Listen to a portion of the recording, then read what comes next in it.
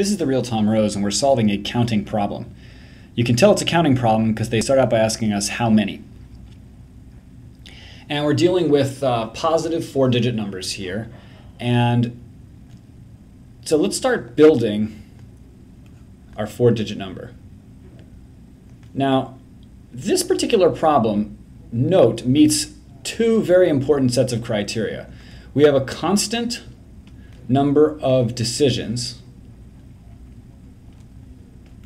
right? Four. And we have a constant number of choices per decision. Right? In the first decision, we have two, because it could be two or three. Then we have 10, then 10, then 1.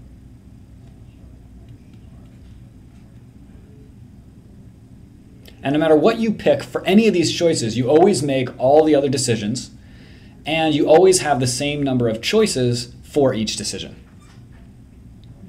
So in the first one, let's just map this out. In the first decision that you make is the first digit. It can either be a 2 or a 3. So you have two options. In the second decision, you can have any digit, 0 through 9. So there's 10 of those. In the third case, we have the same criteria. You can pick any digit, 0 through 9. And in the fourth case, you can only use the number 1. So we really only have one choice there. Well, when that's the case, constant number of decisions and constant number of choices per decision, we can simplify this to the following. You take the number of choices in each decision, multiply them together, and the answer will be the number of combinations, which is 200.